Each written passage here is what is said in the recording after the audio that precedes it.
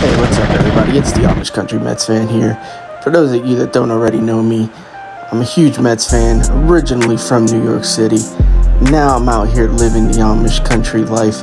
No, I am not, in fact, Amish. I just live in beautiful Amish country, Pennsylvania.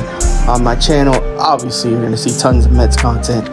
You'll see some of the pigs, you'll see some of the farm life, you'll see some family time.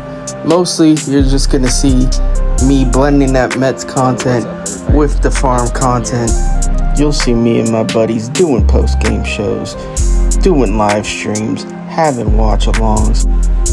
And you'll also see my podcast on here and any other Mets content that may pop into my head. So please, if you haven't already, hit that subscribe button. Follow along with my videos. Like, comment. I appreciate all of you. And as always.